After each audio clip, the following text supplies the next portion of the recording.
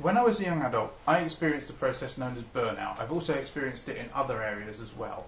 This is where you spend a lot of energy doing something and you've been very enthusiastic about something, and then after a while, your enthusiasm goes into a decline and you get to the point where you feel very hostile about actually the things that you've been doing, and you also want to try to do something else, or you feel a total lack of energy and a lack of enthusiasm, and also very little things tend to set you off as being irrit- irritate you and so forth. Some people they escape into other areas when they do this. Like for example, they may uh, drink, they may smoke, they may take drugs and so forth. And none of those things in themselves are necessarily bad things. But it's also associated for some people with what's known as a quarter life crisis. The more popular crisis, the one that everyone knows about, is the midlife crisis. But there is, in fact, also, insofar as there are crises in life at all, something called the quarter life crisis, which people experience in their early 20s. This is where they question what they've been doing up until now and wonder whether that is what their life is. I mean, for some people, they have this uh, rather daunting confrontation with a long period of their life that will consist of, say, half or three quarters of their life, during which they have made particular decisions that have pushed them in a particular direction, and they begin to feel nostalgic for recent events, such as when they were at university um, or school. And as a result, this is very difficult for them, and they need to attempt to get through this.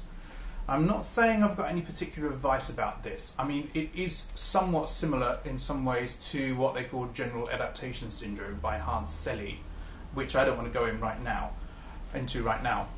Um, but one thing that I have noticed uh, on YouTube is that there are a lot of people who appear in.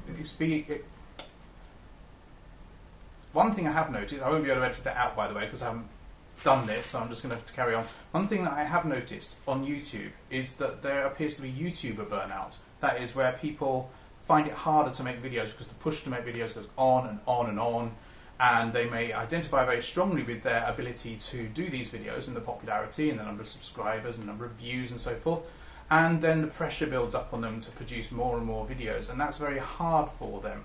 Now, I then noticed that there are a lot of comments on some YouTube videos which are saying, well, why haven't you done a video recently? Why is this? Why are you producing so few of them? This is rubbish. This is no good. Which is really very unfair. Now, the interesting thing about that is when you look at the people who criticise, they actually don't do any uploading themselves quite often, and they don't make their own videos. So, how do you interpret that? Is it because they're doing it in other areas of their life and they don't concentrate on YouTube? They use YouTube as a way of winding down, of relaxing, and escaping, and are they doing it in other areas?